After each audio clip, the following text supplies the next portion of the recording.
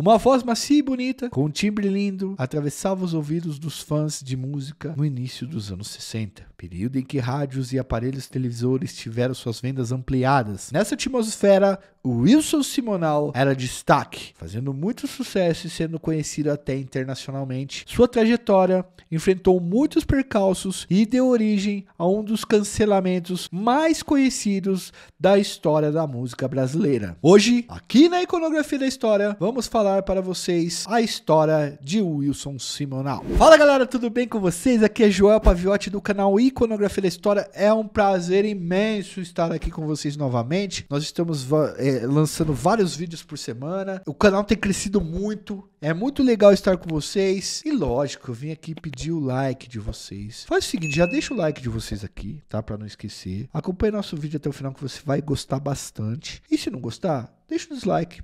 Também preciso que vocês se inscrevam no canal, ative o sininho, comentem e compartilhem esse vídeo nos grupos de músicas que vocês têm aí no WhatsApp. Vamos fazer uma viagem para a época do regime militar com o cantor Wilson Simonal. Roda a vinheta!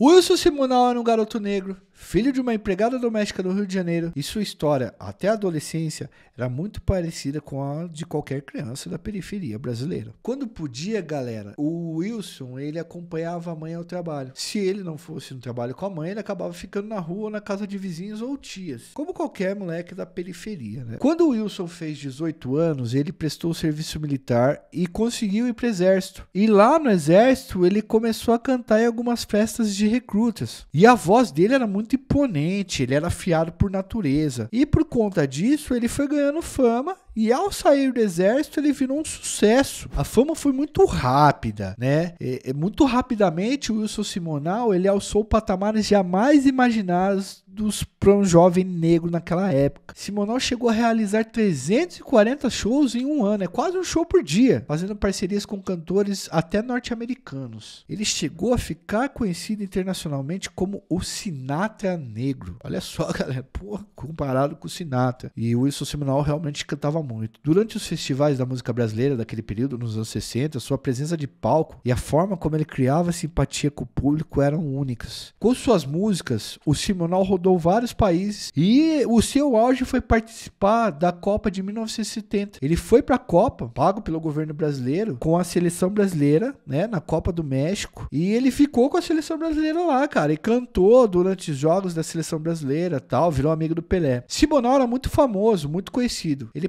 participava de programas de TV nos quais, com exceção dele, apenas brancos cantavam. Ele lançou discos que foram recordistas de vendas. Ele era respeitado e, e fazia sucesso do norte ao sul do país. Tanto, galera, o sucesso era tanto que o cantor foi por anos garoto propaganda da empresa mais poderosa que tinha em território brasileiro, a gigante anglo-holandesa Shell. Esbanjando simpatia, talento e disposição, Simonal virou o nome mais conhecido do Brasil no mundo da música por anos seguidos. Simonal não foi pouca coisa não, viu, rapaziada? Mas a história desse homem, permeada até então pelo sucesso, mudaria radicalmente por uma decisão e um erro terrível que o colocou em uma dura trajetória de derrocada rumo ao ostracismo. Em um determinado momento da carreira, Simonal teria descoberto que o seu contador estava passando a perna nele em alguns negócios. Ele teria identificado grandes desfalques, nos quais até hoje não se sabe a veracidade quanto foi desviado, se foi, não foi. É uma questão meio complexa da história do Wilson Simonal. Segundo a investigação, Simonal teria pagado policiais do DOPS para sequestrar e dar uma prensa no contador. O DOPS era uma espécie de polícia política da época, que era responsável por caçar aí pessoas que eram contra o regime militar. Na delegacia,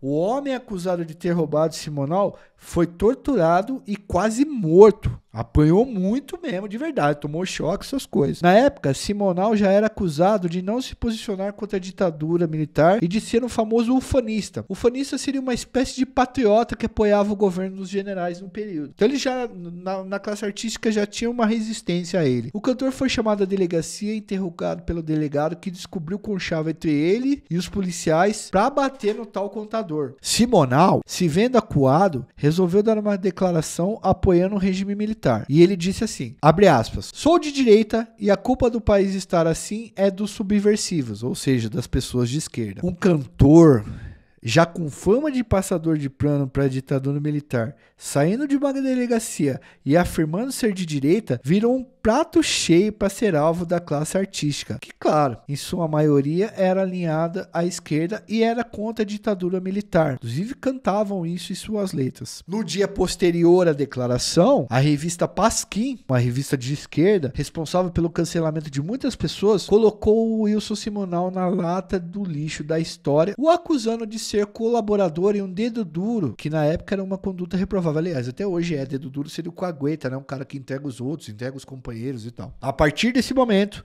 Simonal entra em queda livre, caindo no buraco do ostracismo. Isso é meio pesado, galera. Agora a gente entra meio que numa parte pesada do, do, do, do, vídeo, porque a gente vai falar um pouco da derrocada dele. Com a repercussão do caso e a pressão dos opositores ao regime, Simonal foi julgado e preso por ter mandado bater no ex-contador. Uma vez preso, conseguiu habeas corpus, o que aumentou ainda mais a fama de colaborador da ditadura. Ao final dos anos 70, quando o regime dos generais já perdia bastante força, Simonal não era chamado mais para programas de TV, shows, ou qualquer tipo de atividade que pudesse mostrar a sua voz. Contratar o cantor, galera, acabou virando uma situação muito complicada, porque, porque assim, ó, quando outros artistas sabiam, descobriam que o Wilson Simonal ia tocar no mesmo evento, eles cancelavam os shows. Um certo dia, essa é uma história bastante intrigante, um certo dia, ao cantar em um pequeno ginásio no Rio de Janeiro, Wilson Simonal foi vaiado pela plateia e chamado de traidor. Aos poucos, ano a ano, ele foi se afundando na bebida e na depressão. E ele afirmava sempre, sempre mesmo quando perguntava que nunca havia sido o dedo duro da ditadura. Ele nunca havia caguetado ninguém, entregado ninguém. Nos anos 90, o Simonal, já bastante debilitado, chegou a se esconder em meio ao show dos filhos para não atrapalhar o trabalho deles empobrecendo, perdido no alcoolismo e lutando para que o governo federal emitisse apenas um documento comprovando que ele não era traidor, Sinomonal teve uma terrível derrocada, uma terrível queda. Quando finalmente, galera, ele conseguiu a prova de que ele não foi dedo duro, ele já estava fraco, tinha poucas portas abertas na mídia e pouca gente ficou sabendo que de uma vez por toda foi comprovado que ele nunca havia entregue ninguém ao estado torturador da ditadura militar. No comecinho dos anos 2000, após uma internação é, por complicações decorrentes da cirrose hepática, doença desenvolvida por conta do alcoolismo, Simonal falece. Era o fim de um dos maiores cantores e um dos cantores com a voz mais bonitas que o Brasil já teve a honra de ouvir. O caso de Simonal é um típico caso de cancelamento por seus pares. Palavra, o cancelamento é uma palavra que hoje é bastante usada nas redes sociais, né? Mas ela foi aplicada ao cantor nos anos 60. Aliás, eu vou deixar uma pergunta para vocês aí, para vocês deixarem no comentário, pessoal. É, muitos cantores famosos e artistas né, muitos famosos, inclusive, também entregaram gente aos militares. Uma busca rapidinha no Google aí, vocês vão achar cantores famosos que fazem especiais de fim de ano, que contribuíram bastante com isso. Todos eles brancos. Aí fica a pergunta, né? Até para vocês aí comentarem pra gente. Por que só o Simonal foi cancelado? Hein? Bom, galera, espero que vocês tenham gostado bastante do nosso vídeo de hoje. É, foi uma, uma pesquisa bastante apurada. Nós vamos deixar as referências aí nos primeiros comentários para vocês darem uma olhada. Eu espero que vocês possam ter. Eu espero que vocês já tenham deixado o like de vocês. Se não deixaram ainda, deixe o like agora. Se inscreva no canal. Seja um membro do canal para dar uma força para a gente produzir cada vez mais. Se quiser dar um presentinho para a gente aí, clica no botão valeu e faz um pix. Espero que vocês estejam bem. Até o próximo vídeo. Valeu!